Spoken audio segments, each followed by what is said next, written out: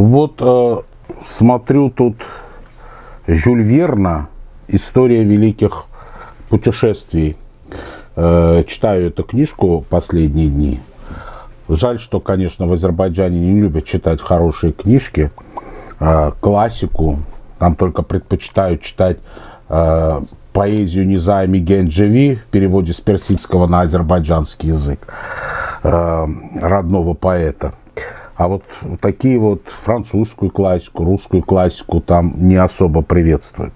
Так вот, я хочу сказать, что здесь смотрю, э, Жюль Верн описывает путешествия э, великих э, землепроходцев, и один из них, Марко Поло, вот он, значит, проходит под, по Великой Армении, дальше идет на север в Грузию, потом как-то попадает он э, уже через юг Каспия на туркменские земли. Куда делся Азербайджан, непонятно.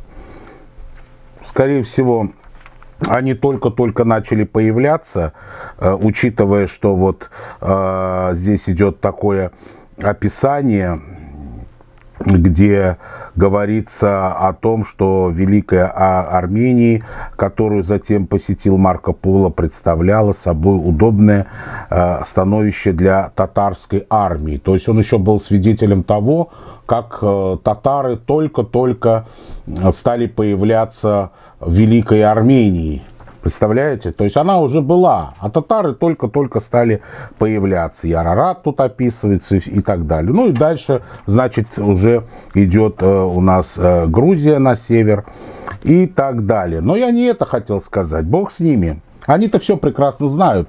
Им просто стыдно говорить, что они наши младшие братья, не братья, но не знаю. Но какие-то там младшие рядом стоящие. Я хочу сказать о другом. Тут такая вот интересная вещь э, пишется, я бы хотел бы э, процитировать. Это у Жюль Верна, который цитирует, а, значит, Мафео. В старину, э, сообщает путешественник, здешние дворяне были храбры и воинственны.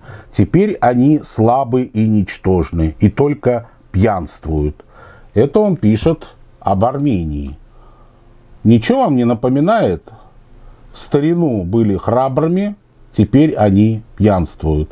Если перенести на наши дни, то что-то похожее получается у нас в современной Армении. Когда-то там недавно в старину были храбрыми, а сейчас жируют и делят власть. Но э, тема, э, значит, у нас сегодняшняя не об этом, тем более об этом мы уже много раз говорили. Сегодня мы будем говорить и разоблачать э, все то, что продолжает муссироваться в Азербайджане. Очки мне уже не нужны. Э, книжки этой я возвращаться не буду, по ней я все сказал. Кто захочет, тот э, прочтет и без меня. На протяжении восьми лет э, антитопор э, рассказывал и разоблачал всю ту ложь, что транслируется и муссируется в азербайджанском обществе об армянах, культурном наследии армян, истории этого народа и государства. Причем делалось это каждый раз, не ссылаясь ни на один из армянских источников, как сейчас вот, например исключительно только на независимые источники. Это делалось э, для них, э, для тех, кто э, намеренно пытается стереть следы армян в регионе. А в общем-то как раз только армянские источники среди народностей Кавказа и Закавказья являются самыми ранними. И когда местные народы хотят обратиться к своему прошлому, армянские источники как раз и приходят им на помощь. Это касается и чеченцев, и ингушей, и лезгин, и осетин. Армянским источникам уступают немного лишь грузинские, на которые э, тоже ссылаются. Ну и в отношении грузинских э, армянские более ранние. Но об этом мы еще поговорим э, в ближайших выпусках. А пока что факт неопровержимый один. Нет ни одного азербайджанского источника древности о народах региона, ни о регионе в целом. И это, повторюсь, неопровержимый факт. А теперь по сегодняшней теме. Учитывая, что большая часть Арцаха, Нагорно-Карабахской республики, нынче контролируется Азербайджаном, то и все древние и средневековые армянские и культурные наследия христианские и языческие также э, перешли под их контроль. Уверен, все это временно, но пока именно так, вот как есть. А коль сегодня мы имеем то, что имеем, а, собственно, чем больше все это будет им контролироваться, тем больше эти наследия будут исчезать. Им не привыкать громить и грабить. Тому являются хорошими примерами армянские наследия на Хичеване, где ничего не осталось армянского за последние сто лет. И тому являются примером армянские э, наследия в Турции, где тоже ничего армянского не осталось по всей Восточной Анатолии, Западной Армении. И сейчас э, мы э, видим, что начало в Карабахе положено. Идет тотальное уничтожение армянского прямо или косвенно. Прямо это когда уничтожается техникой, вручную. Косвенно это когда армянское приписывают себе. И делают это через э, так, называемый, э, так называемую Кавказскую Албанию или так называемых албан, которых давно нет, которых сами они же и уничтожили. Я имею в виду предки азербайджанцев. Впрочем, э, их предки-варвары, пришедшие в регион из Центральной Азии. Баку с удовольствием приписывают э, армянское наследие албанам, причем вопреки тому, что только у армян свидетельства на свои наследия, написанные на армянском языке, известные из армянских источников. Не кажется ли вам странно, что монастыри, храмы, хачкары и крепости принадлежат албанам, но почему-то древние надписи на них на армянском языке? А не кажется ли вам странным, что они, э, храмы и хачкары эти албанские в кавычках, а Азербайджан втихую все равно это все сносит? И, наконец, главное, не кажется ли вам странным, что, как говорят э, в Баку, территории Албании и Кавказской простирались от э, Каспия до озера Ван, но опять же все эти армянские христианские наследия сохранились только на территориях, где компактно проживают армяне. Мистика, не так ли?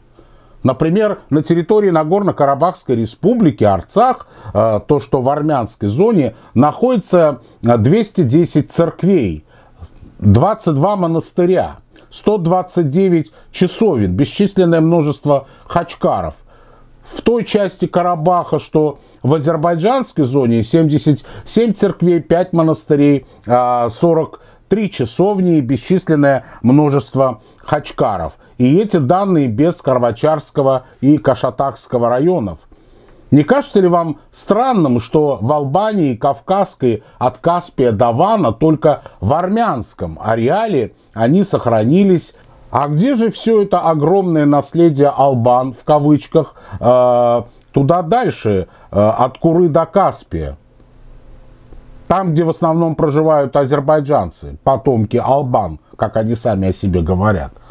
Ответ на поверхности. Все эти наследия были и есть армянские. И только армяне и никто другой сохранили и донесли э, через века свои наследия. А Кавказская Албания была за Курой э, к востоку от Куры и армянского ареала. Там, где ничего подобного э, в таком количестве не сохранилось. А почему? Почему не сохранилось? Потому что к азербайджанцам они не имели никакого отношения. Потому что у потомков варваров, которые называют себя тюрками и именуются иранским термином азербайджанцы, все это чужое, чуждое и не свое. Что албаны это не народ, а племена, жившие к востоку от Куры и являются предками современных лакцев, лезгин, цахур – Удин, Рутульцев, Табасаранцев, но никак не азербайджанцев. И что с 16 века перекочевавшие из Центральной Азии в Персию, а затем из Персии в Аран, Албанию, тюрки стали постепенно вытеснять албанские племена и их наследие. Вот почему там, к востоку от Куры, где нынче азербайджанский ареал, почти ничего христианского албанского-то и не сохранилось. Но зато их, христианского, армянского, великое множество к западу от Куры, где армянский ареал. Все очень просто если не быть обманутым дураком и не ангажированным журналюгой. Америку я не открывал. Все это э, можно прочесть и в истории Востока, в шестом томе «Восток в средние века». И это классика. Сюда никто не влезет, чтобы чего-то э, переиначить. Также можно обратиться к арабским источникам средневековья Аль-Мукадаси и Ибн Хаукалю или Камиле Тревер, очерки по истории и культуре Кавказской Албании, или Николаю Караулову в сведениях арабских писателей X и XI веков э, о Кавказе, о Кавказе, Армении и Азербайджане. Источников э, независимых огромное множество. Не бойтесь только узнать правду. Это самое главное. Обращайтесь к ним. Их писали известные ученые всего мира. Они не были ни армянами, ни тем более азербайджанцами, ни племенами албанскими. Да и не кажется ли вам странным еще раз, пятый раз, что армяне в каком уголке бы мира не жили, от Белфаста до Сиднея и от Китая до Уругвая, везде строили и строят себе храмы, а у себя на родине бы албанскими пользовались. Ну что за чушь? Я побывал почти в 140 странах мира. Из них в 52 странах я ездил специально снимать армянские наследия. И везде они имеются. Свои, родные. Теперь по Дадиванку, который остался на азербайджанской зоне в селе Ванг Карвачарского района. Этот монастырь родился тогда, когда его э, камни и руки их строителей не знали, кто такие азербайджанцы. А азербайджанское слово «орду» – армия произносилось татаро-монголами «орда» – армия. Я даже не буду углубляться в первый век, когда там было построено святилище на могиле погибшего святого Дади, ученика апостола Фадея. Это слишком глубоко для азербайджанцев. Я лишь напомню, что основание главного корпуса монастыря датировано 1214 годом, когда азербайджанского духа и рядом-то и не было. А первые упоминания монастыря относятся к IX веку. И все эти упоминания связаны исключительно с армянами. По всему монастырскому комплексу стоят печати от хачкаров 12-13 веков до надписей тех же периодов на армянском э, языке. Не хотите к античному прикоснуться? Прикоснитесь. Например, к Роберту Оустерхоуту «A Byzantine Settlement in Cappadocia». Это довольно серьезное исследование ученого из Гарварда – или работа другого ученого Кристофера Волкера «Armenia and Karabakh», в работе э, которого исследованы как сам Дадиванг, так и армянские наследия Карабаха. Замечу, что Волкер в США ведущий исследователь стран Закавказского региона. А как пишет англичанин Энтони Истмунд в работе «Тамтас uh, Welt», строительство Дадиванка примером э, женского церковного покровительства в армянском мире XIII века. Тут некоторые призывают к миру, намекая, что война позади. Нет, ребята, не обманывайтесь. Все еще впереди. И если не с Божьей помощью, то с помощью армян, которые вот-вот начинают становиться трезвыми. Истина за нами, а значит победа была и будет за нами. И азербайджанский турок знает это. Поэтому и пытается быстро истребить наше прошлое на нашей же земле, на земле наших предков. Они говорят о э, Натаване, Бюльбюле и прочих, живших в Шуши в 20, 19 или 18 веках, в Шуши, в Карабахе. Но боятся сказать о тех, кто жил на этой земле до них об Амаросе, где была основана первая армянская кафедра в IV веке, где преподавал Месроп Маштоц, или летописец 17 века Акоб Исуси, э, оставивший хронику о набегах ваших предков из Каракуюнлу и являлся свидетелем поведения туркмен у армянских границ. Или историк 13 века Киракос Ганзакэци, творивший в Карабахе, Арцахе. Или другой историк 16 века Аванес Царици, он же был и священником в Дадиванке. Или путешественник 15 века арцахский Мартирос Ерзнкаци. Или э, где был ваш Бюльбюль, когда в Арцахе правили княжеские роды Закарянов, Допяны? Я уж упущу из внимания десятки генералов и военачальников армян Российской империи из Арцаха. Долго придется перечислять. Тот же Алиев, позируя в Шуши, стоит на фоне руин старинного армянского училища, сожженного татарами, и они же азербайджанцы, в 1920 году и выдает это за азербайджанское наследие. Подписывайтесь на канал, поддержите его как можете и оставайтесь с нами. Все еще впереди. Сильмумдес.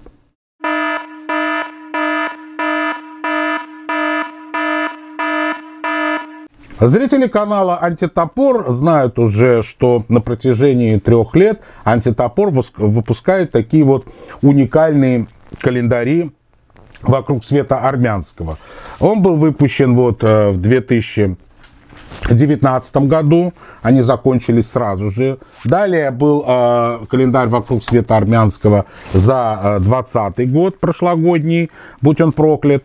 И вот э, календарь э, за значит, 21 год. Точно такой же вокруг света армянского. Э, ну, кто не знает, кто еще не сталкивался с этими календарями, э, я немного расскажу и покажу. Э, вот, значит, здесь на каждый день какие-либо события из армянской истории, армянской культуры и так далее. На каждый день круглый год. То есть информация ни в коем образом не повторяется из года в год. И все эти календари, если удастся собрать, это будет такая мощная, интересная энциклопедия энциклопедия в виде э, такого дайджеста, ежегодника.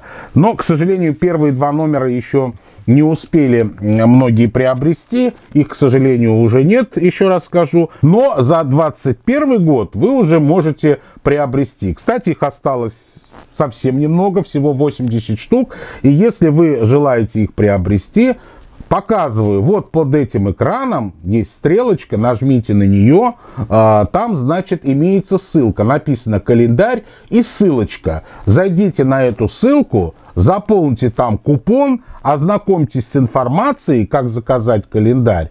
Вот там все написано четко.